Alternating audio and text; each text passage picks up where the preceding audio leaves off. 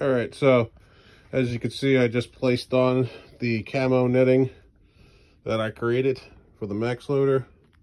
So it should help it blend it in a little bit better. And I got this as the sheath. I want to show it before I camo it up. So you got the arm pads defending it. You got the spot where you put the Metadyne itself in. And then I'm going to cover it up with the same netting. So I only have it connected to two places. So if I lift it up, you can kind of see what's going on below it.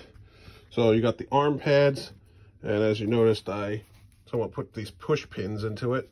So I actually have bubble wrap underneath it, adding to that armor rating. So if I get hit, it's more likely to bounce. Plus I have that camo on it. You got the slot for the extra tank there in case I want to run the Metadyne today. I run that off of a very small tank, very light. And what's going on over here is you got double tank slots. I'm going to be changing that up hopefully soon. Uh, I could get it down to one tank. That'd be nice. Uh, I'm going to switch out guns. So hopefully that issue will be solved in its own. We go over here. So these are the smoke bombs. These are like a thing to put smoke bombs in. Right in there. And then what I created over here is these are for grenades. So this is a custom system. So what you do is you put the grenade in there, and when you want to pull it out, you lift up, releasing it from here, and you pull down, which will pull the cap off for you. So it's a cap puller. That'll also protect your pins, so you don't actually get caught on something, and you'll have a higher chance of getting that grenade to where it needs to be without issues. Um, I've also had it, had a um, mag pouch over here, but I'm looking to get rid of that eventually. as I upgrade to the guns, I shouldn't need that anymore. And if you go back over here, you got the, um, this is for water. So all I got to do is lift this up and I can access this. This whole system is made to expand. So this will expand with it. So it's not going anywhere. Um, the way I got this to work is I pretty much have a bunch of uh, super glue I've used to fuse it into itself. I've also used a bunch of Velcro, as you can see, like the arm pads.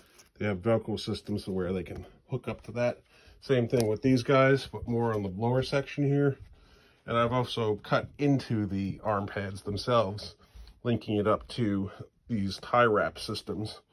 So it's like a tie wrap on a tie wrap sort of like how I'm holding this guy right here. It's just a tie wrap I'm using.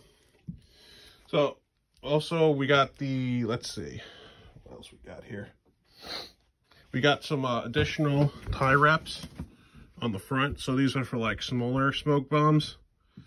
These, um, I've adjusted them for three different sizes.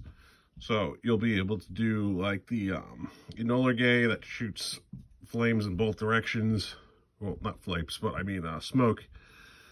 You could do the smaller ones. You could do the battlefield, like the small battlefield smoke bombs that they allow at scrimmage only, which is a pretty um, cool feature right there. I could get about three of them on there.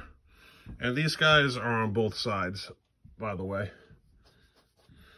Uh, I've also have it, you know, like you got the normal hose that comes out the front and you got your wiring um, I've modified this thing so many times. You might know there's a little, little bit of red, and I got my logo there for the Assassins. It's changed so many times that I just kind of built over it. So you can't really see parts of that. I also had my own logo.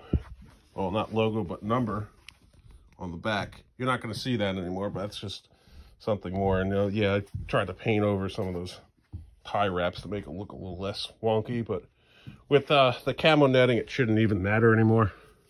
So you just put that over, and then you're back to kind of blending in a little bit better. Um, this was just a bag for potatoes that I sprayed over and then tie wrapped to the thing. All right, that's it for now.